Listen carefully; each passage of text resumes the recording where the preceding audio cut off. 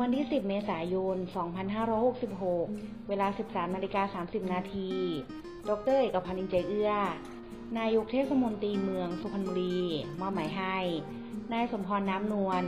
หัวหน้าฝ่ายแผนงานและงบประมาณ เข้าร่วมการประชุมจัดทำเป้าหมาย การพัฒนาจังหวัดสุพรรณบุรี 20 ปี โดยมีนายปริญญาเขมชิต